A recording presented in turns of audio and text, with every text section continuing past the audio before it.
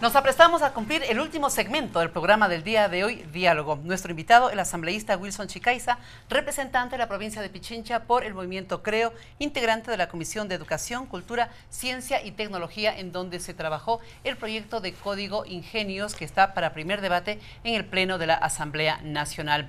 Ya se lo ha dicho aquí, tanto por parte de nuestro primer invitado, cuanto por las transmisiones de las sesiones del Pleno y en la continuación de este espacio de diálogo, que se trata de un documento muy extenso se lo ha dividido en varias partes para su análisis, tanto en el Pleno y entiendo que asimismo continuará cuando regrese a la Comisión para elaborar el informe para segundo debate. Asambleísta, usted ha citado un término extraordinario que debe ser el primordial en todas nuestras actividades, la libertad. Y nuestro anhelo es que esa libertad jamás se vaya a perder y nos sentimos todavía muy libres de decir y hacer lo que se hace y lo que se dice, obviamente respetando a los demás, porque los derechos del uno eh, llegan hasta cuando comienzan los derechos de los demás. Hay un tema, y precisamente ahí vamos a lo de la libertad y a los derechos, que se le viene en el pleno de la Asamblea el análisis, la propiedad intelectual. ¿Cómo se lo abordó esto en su análisis en la comisión y cómo se proyecta su discusión en el Pleno? Mire, eh, se ha partido de, la hipótesis de que vamos a derogar una ley de propiedad intelectual hiperprivatizadora de acuerdo a palabras del gobierno y vamos en el capítulo 3 a reemplazarla por una ley de propiedad intelectual nueva, que a mi modo de ver también no deja de ser hiperestatizadora, porque igual el Estado lo quiere controlar todo. Entonces, eh, en lo que se refiere a este tema, pues han sido largos los debates, eh, son más de 300 artículos solo en este libro, en este libro, solo en, este libro, en el libro 3 son más de 300 artículos, pues y la buena noticia es que como estamos en el primer debate, todavía los asambleístas de oposición, los ciudadanos, los asambleístas del oficialismo van a poder realizar los aportes, las observaciones, las sugerencias, cambios al articulado pero eh, sí hay que reflexionar también de que eh, hay que hay que establecer y hay que aclarar muchos artículos. De manera general, como yo le he dicho, comparto los principios como por ejemplo la protección a los conocimientos ancestrales y estoy completamente de acuerdo. Comparto el tema de ampliar el régimen de licencias obligatorias para eh, cuestiones tecnológicas porque en la anterior ley se establecía solo para medicinas. ¿Qué quiere decir esto de las licencias obligatorias? Quiere decir que por ejemplo si el Ecuador necesita por alguna circunstancia pues disponer eh, de un producto, como por ejemplo una medicina que esté siendo vendida para curar alguna enfermedad en 100 dólares, pues y, nos percatamos de que hay una epidemia, necesitamos la fórmula y podríamos producir, ¿no es cierto?, la misma medicina para que sea vendida en 10 centavos, por ejemplo. Comparto, y ese es el régimen de las licencias obligatorias. Lo mismo sucedería con el tema del software o el hardware, ¿no es cierto? Para temas específicos que determine prioridad del gobierno. Y estoy completamente de acuerdo. La anterior de propiedad, ley de, la ley de propiedad intelectual establecía para las medicinas y y ahorita se amplía para algunos otros aspectos el tema de la protección de, los derechos ancestrales también, por ejemplo.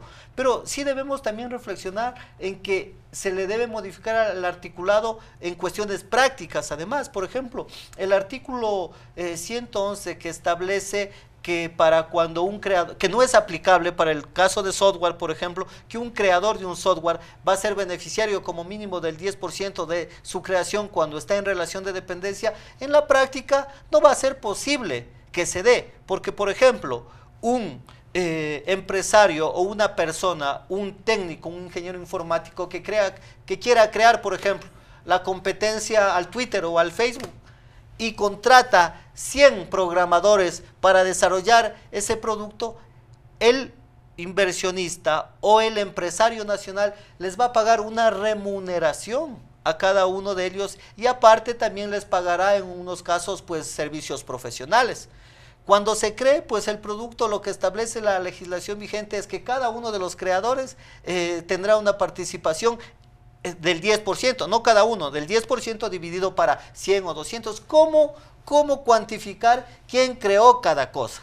Entonces, es una regla inaplicable, además de que ya pues son siendo regulados prácticamente de que se establezca la eliminación del artículo la eliminación del artículo propondría yo y además proponen otros sectores también. Por ejemplo... Pero eliminar el artículo para no dejarle sueltito este punto asambleísta. Eliminar el artículo sería, sí, alguien es servidor eh, de una institución pública o privada y abona para crear un invento.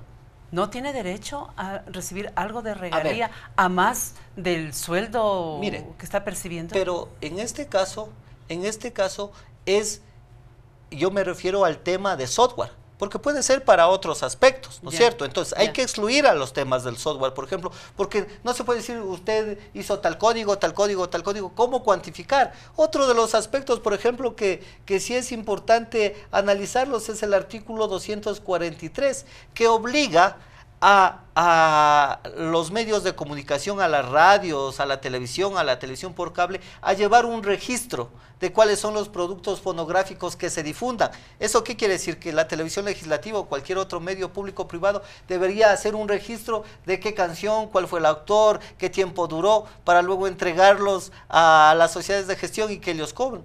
¿Qué va a pasar cuando, por ejemplo, las televisiones, las televisoras o, las empresas que realizan televisión por cable, pues ya compran el producto y el pack establecido y en muchos de los casos ya pagan los derechos de autor, derechos de compositor a las empresas que emitieron esos programas. Entonces son algunas cuestiones eh, que, en la práctica pues no se les va a poder realizar. Por ejemplo, otro de los aspectos y otra de las inquietudes que yo tengo es en el artículo 562, eh, que se refiere a la exoneración del impuesto a la renta eh, para desarrolladores de software libre. Porque es una, es una cuestión hasta de exclusión.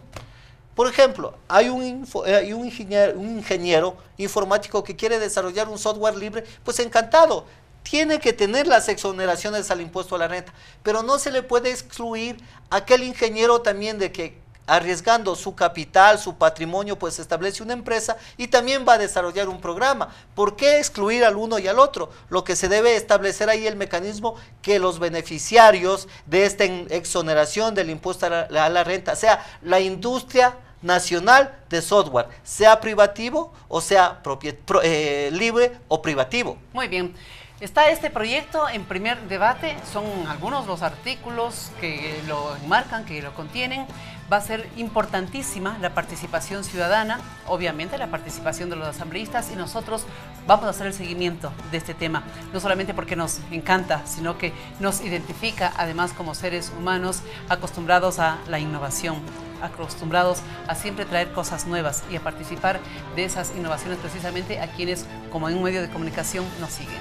Muchísimas gracias al asambleísta Wilson Chicaiza, representante de la provincia de Pichincha por el Movimiento Creo, integrante de la Comisión de Educación, quien nos ha hablado sobre algunas de sus observaciones al proyecto de Código de los Ingenios. Nuestro compromiso, vamos a seguir con este tema en otras jornadas. Señoras y señores, gracias por su atención, muy buenas tardes y hasta una próxima oportunidad.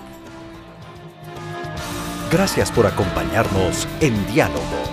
Fueron 60 minutos de reflexión sobre los temas que interesan a todas y todos.